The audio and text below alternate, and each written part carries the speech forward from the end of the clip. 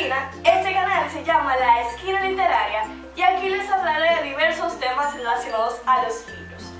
Hoy haré algo muy diferente a lo que usualmente hago y es que una de mis suscriptoras me preguntó cómo es que yo uso los post-it y en qué partes de los libros. Y así yo les explicaré en qué parte los uso. Así que vamos a comenzar con este video. Bueno, el primer libro que voy a elegir algunos post-its como ustedes pueden ver y yo usualmente los utilizo cuando veo una parte interesante, algo que yo quisiera volver a leer después. Por ejemplo, vamos a abrir esto así. Por ejemplo, yo abrí un post-it espontáneo y hay una frase en inglés, no sé si ustedes puedan verla, no sé si enfoca la cámara bien, pero de todos modos la leeré y es que dice, algunas personas piensan que les gusta la música, pero no tienen idea de qué realmente les gusta. Otras personas tienen una gran afición por la música, pero no oyen las canciones correctas. Y después estoy yo. Me gusta esa frase porque es de Owen, que es uno de los protagonistas del libro, y si ustedes lo leen, pues podrán comprender por qué me gustó. Otro libro que tiene muchos post-it es Since You've Been Gone, de Morgan Matson, o Desde que te fuiste. Vamos a abrir un lugar random. Que encontré fue esta lista de canciones, no sé si la cámara logra enfocarlo, pero este libro tiene muchas canciones y pues marqué con el post-it azul no, no lo marco con un color en específico por algún significado, sino que el primer post que vean pues lo pongo. Y pues esta parte, como dije, tiene canciones. Esta también tiene muchas canciones que escuchaban en el libro, un tipo de playlist de un iPod. Y pues eso era lo que yo hacía cuando pues veía estas canciones que yo quería escuchar después. Las marcaba con el post-it y así ya yo me podía recordar cuando volviera a leer el libro o cuando lo viera. El siguiente libro que les voy a mencionar, que tiene muchos post es este que es Llévame a cualquier lugar de Alice Kellen, que también me gustó mucho, pueden observarlo por los post Aquí ya previamente yo marqué algunos lugares que me gustaban. Una de estas frases es, cogí una novela que tenía medias y comencé a devorarla tumbada en la cama.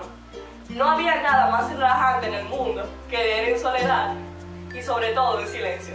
Si ustedes pues también leyeron este libro, se pueden relacionar, porque este es un personaje muy tranquilo y que le gusta leer igual que yo, así que por eso, por aquí verán la frase, por eso pues se darán cuenta que me gustó mucho y lo marqué con el post-it amarillo fluorescente.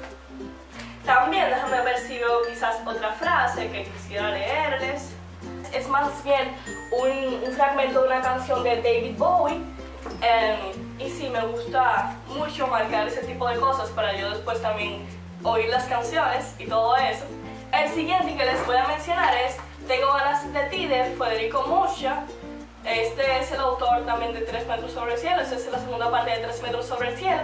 Y aquí tengo muchos post-it, como ustedes se pueden dar cuenta, muchos post-it, porque me encantó este libro. Marqué hace un rato uno también es una frase de una canción en inglés, no sé si se pueda llegar a enfocar en la cámara, pero pues menciona la voz de Chris Martin, que es el, pues, el cantante de Coldplay, y esta es una de las frases que más me gustaron del libro, por eso fue que la marqué, y más que Coldplay es una de mis bandas favoritas.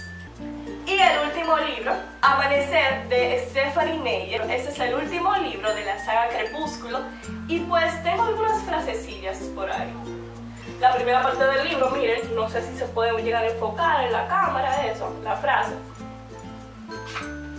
Dice, la infancia no va de una edad concreta a otra. El niño crece y abandona los infantilismos. La infancia es el reino donde nadie muere. Esa es frase que me gustó mucho del libro. La otra frase es esta, que también marqué con un post-it rosado, como pueden ver. El afecto personal es un lujo que solo puedes permitirte una vez que han sido eliminados tus enemigos. Hasta ese momento, tus seres queridos se convierten en rehenes, minando tu coraje y corrompiendo tu juicio. Esta frase también me encantó mucho. Y hasta aquí el video de cómo pongo los post-it, en qué partes y en cuáles libros.